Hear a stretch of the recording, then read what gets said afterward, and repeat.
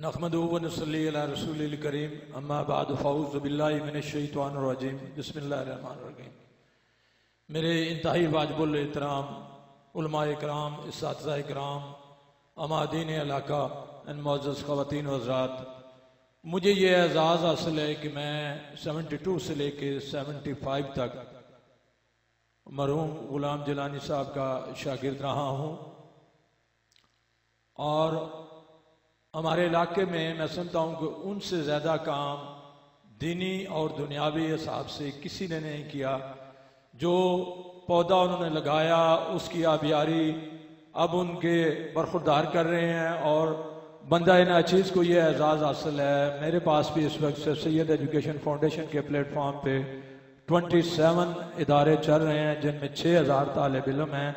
ये मैं समझता हूँ अल्लाह का करम और मरहूम गुलाम जलानी साहब की मेहनत का असर है कि मैं इस फ़ील्ड में हूँ। मैंने पिछले साल स्टेज पे खड़े होकर ये वादा किया था सर से कि अल्लाह ने मौका दिया तो इस साल जो इदारे बनेंगे, वो एक इदारा मैं मरहूम के नाम डेडिकेट करूँगा।